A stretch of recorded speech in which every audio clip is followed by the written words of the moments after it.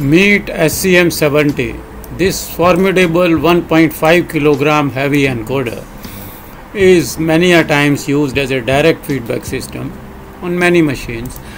We also have SCM60, SRS50, SRM 60 or SRS25 kind of encoders. They are all rotary encoders used for direct feedback. This particular one comes with a 10 pin M23 type connector. In case you need this kind of encoder or any other SICK encoder, call us. We can supply the encoder, install it at your machine, align it as per factory specifications. Call our Dubai number, call our Delhi number, and we are here to help you out.